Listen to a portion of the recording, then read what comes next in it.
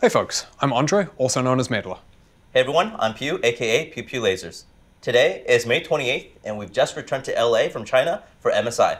Before we start, we wanted to give a big congratulations to Gen G for securing the win and another world slot for the LCK. Now today, in addition to the usual game discussion, we've also got some updates about esports, a new executive producer for League, and a bit about Arcane Season 2, which is coming at the end of this year. Let's start though with what's going on in the game. First, we want to give a little update on Champions. Well, mainly that there isn't a big update. It's around the time of year when we usually publish a Champion roadmap, but because we shared a lot during season start, we won't be doing Champion roadmaps this year.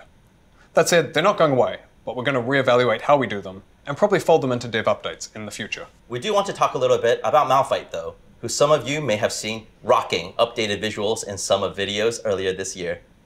Malphite's visual update is an experimental approach on our end. League's got a really large roster of champions, and we felt that the gradual way we did Jax's update landed really well. So we want to keep experimenting with this method of development. What we're testing first with Malphite is how efficiently we can take some of the updated visuals from Wild Rift and redo them so that they work in League of Legends. The skins catalog between the two games aren't exactly the same, so there's always going to be some work that needs to be done from the scratch regardless. But we do hope that this is going to prove to be in a way that we can accelerate visual improvements into League. Now, we don't have a timeline on when, or even if, Malphite's new visuals will come to League. But if this is something that works out well, we're going to look to do this with additional champions in the future too. Separately, we'd also like to talk about Spirit of Hearthhome for a moment. This minigame has been live in the client for a bit now, and we'd really love your feedback on it. This is just one of the new ways we're exploring to give more immersive connections into the world and characters of Runeterra. We'll be taking the learnings from your feedback and incorporating this into our future plans for similar things that we're really excited about for the rest of this year and going into the next. Now though, let's talk a bit about game modes. Arena's most recent run has been pretty successful so far. As of filming, players are sticking with this version of Arena pretty consistently post-launch, with more sustained play than previous versions. We do still want to see how interest does or doesn't hold up over a longer period of time, but it's been a really promising run so far. We're seeing a lot of discussion around some particular aspects of it, Things like the cameos, the lily pad map, prismatic items, pick ban, and the move to 16 players instead of 8. We're going to share some more in-depth thoughts on all of those, and more, in a future dev blog. And of course, we'll continue to make adjustments to Arena, you know, both the content and the systems, throughout its run. We're also getting really close to releasing our upcoming PvE mode. It's called Swarm, and it can be played co-op or solo. It'll come live in mid-July as part of the summer event, so you should be seeing it on PBE in late June. This mode is a pretty big departure from League's core gameplay, so maybe I'll actually be kind of good at it. The team really wanted to emulate the chill, more casual style of bullet heaven survivor games, with some resulting reimagining of how our champions would play in this context. We recently launched an update to the champion mastery system. We feel like some of the update has landed well, like uncapping mastery and the ability to unlock champion titles, but other parts have missed the mark for some players. One of the biggest areas of feedback was the visual overhaul.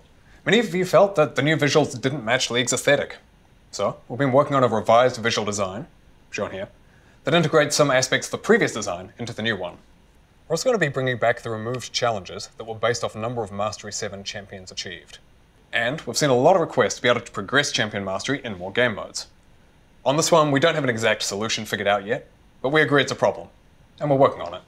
Now let's talk about what Vanguard's doing. Since we launched Vanguard four weeks ago, we've banned over 47,000 scripters, 2,500 of which we caught in Diamond Plus level games. Vanguard has given us a lot of leverage in detection and prevention here that we just didn't have before. Vanguard has also given us anti-virtual machine techniques that have almost eliminated botting overnight, resulting in bot hours in League falling from 1 million plus a day to under 50k hours a day. Now that'll be most noticeable in the co-op versus AI queues, but probably also felt in lower ranks PvP as well. And that should also mean fewer games run by bots and fewer players using purchased Smurf accounts that were leveled by bots. So far since launch, we've seen no real discernible change in daily player numbers for League. While we've removed a meaningful number of bot accounts from play, actual human engagement is actually up a bit over the past month. Now, we still know that this was a big change for League, so we're planning to continue giving you updates from the anti-cheat team on Vanguard, and all things cheating related over time. We'll also have the anti-cheat team in the next dev update for a deeper dive. All right, that's it for us. We'll pass things over to Chris and John to share some updates about League Esports. Hey everyone, I'm John Needham, President of Esports at Riot Games. And I'm Chris Greeley, the Head of Strategy for LOL Esports. Hey Chris, an amazing time in Chengdu at MSI. Yeah, tournament was great this year. I mean, Andre and Pooh stole our thunder, But what they failed to mention is that this year's MSI broke every viewership record we have ever had for MSI. We took a lot of feedback from the community last year, and our format changes this year were really well received. So I want to say thank you to all of our pros who made the trip to China to compete and to everyone who tuned in to watch for this MSI. It was amazing. Earlier this year, I shared an update to our team partnership model for the LCK, LCS, and LEC, and how we're changing the way our revenue model works with a focus on sharing digital revenues with the teams that compete in our Tier 1 leagues. Today, we wanted to share the next phase of our plans a unified split structure for all of our leagues, the addition of a third international event to our calendar, and proposed changes to our leagues in the APAC and Americas regions. We believe these changes are necessary to strengthen our path toward the long term sustainability of our sport. Overall, we're proposing to reduce the number of teams in our Tier 1 ecosystem. We're doing this to strengthen team participation in the new global revenue pool. Basically, with fewer teams to share revenues with, all the teams will get an increase in their revenue per team. This should also concentrate player talent into our best teams and improve the overall fan experience by making it easier to follow our sport and hopefully create more high quality matches. After these changes, League of Legends esports could look similar to Valorant esports or the VCT. We have taken a lot of lessons from the VCT, a model we are super happy with, and that's proven to be very successful in its first two years. So, starting in 2025, we're proposing that Southeast Asia, Hong Kong, Taiwan, Macau, Japan, Vietnam, and Oceania combine forces into a single multi region league.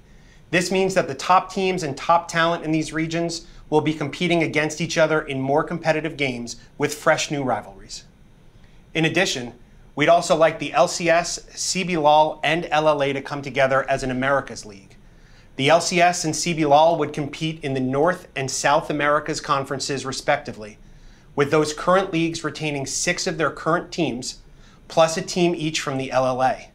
The final slot in each conference would be reserved for promotion and relegation from the Tier 2 system in each conference. We believe this provides a clear path to pro and expands players' opportunities to compete at the Tier 1 level. After these changes, there would be five leagues in our Tier 1 ecosystem the Americas, APAC, the LEC, LCK, and LPL. There are more details on these changes in our lolesports.com article, Speaking of international tournaments, we are adding a third event to the 2025 calendar that starts with regional play at the start of the year. Each of the now five regional leagues would have a single team qualify for the international event as part of this new tournament in March. We'll get to watch the best team from each region play against every other region in a round robin format before crowning a champion through a bracket stage. Yeah. It's going to be super exciting. We're going to use this tournament as a way to experiment with different competitive formats. For 2025, we'll be using a version of Fearless Draft Mode in the regional and international portions of the competition. Fearless is going to be so cool. Yeah. Very excited about that. Finally, with the addition of this new international tournament, we're using this as an opportunity to refine regional split structures. Going forward, each region will open the year with the new tournament or tournament split and then continue on to two slightly shorter splits throughout the year, which will end with MSI and a regional championship, respectively. Champions from each region will be crowned at this regional league championship rather than at the end of each split. And of course, the season will culminate, as always, with Worlds. Now, before we talk arcane in a moment, I'd like to introduce somebody. He's a special guest today, but he's going to be a recurring presence on the dev updates going forwards. This is Paul Bellezza, and he's our new executive producer for League of Legends. Thank you, Andre. Hi, everybody. My name is Paul Bellezza, and you may remember me from such league moments as the Wukong Champion Overview, Candy King Ivern, the April Fool's Urfitational Show matches, and the Bilgewater Burning Tides event where we killed Gangplank. I'm so sorry about that, LOL Esports except I'm not. Uh, I have been at Riot since forever and was one of the first 10 developers on League of Legends. I spent the next decade working on everything from Champions with Meddler here, in-game events, skins, and even the store. After a few years working on Valorant, I became a wandering game production wizard for League Studio, helping out on all things arcane, and most recently embedding deeply with the Wild Rift team. And now, I'm thrilled to be returning to work on League of Legends as its executive producer. I'm deeply honored and ecstatic to be coming home to the game I know and love in order to help make amazing experiences for you all. I am at your service. So for now, I'll be busy catching up on all things League. I'll see you next time, Summoners. Wait, we've changed that? We've changed that? Uh, see you next time, players. Thank you, Paul. Very excited to have you in this role. Now, though, we're going to hand over to Christian to talk a bit about Arcane. Hey there, I'm Christian Linke, one of the creators of Arcane. I'm here to talk about, you guessed it, Arcane. Arcane is just the beginning of our larger storytelling journey and our partnership with the wonderful animation studio that is Fortiche. From the very beginning, since we started working on this project, we had a very specific ending in mind, which means the story of Arcane wraps up with this second season. But Arcane is just the first of many stories we want to tell in Runeterra. We've been with Riot through Vi and Jinx's entire journey thus far, from becoming in-game champions to characters featured in different cinematics to main characters in a TV show. Their arcs have grown so far beyond our original dreams, and we want to give the same treatment to more champions. We're currently working on our next projects across television and film, and we're hopeful that we can share more by the end of the year. We're still in the early stages of that, and these things do take a lot of time, but we want to share updates with you whenever we can.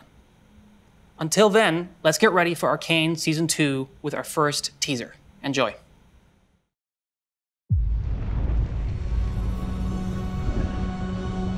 Your council is dead.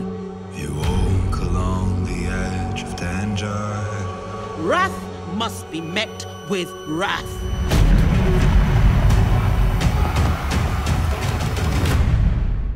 You will have justice.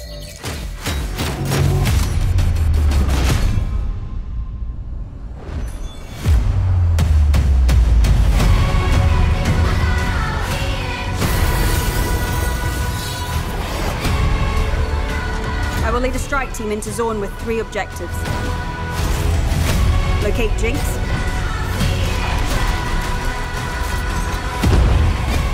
Dismantle Shimmer. And neutralize any agents still loyal to Silco.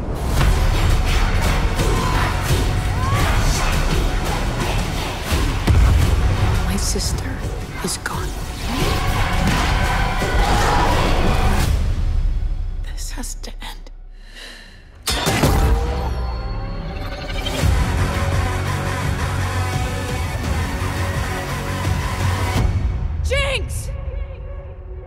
Finally got the name right. Sister.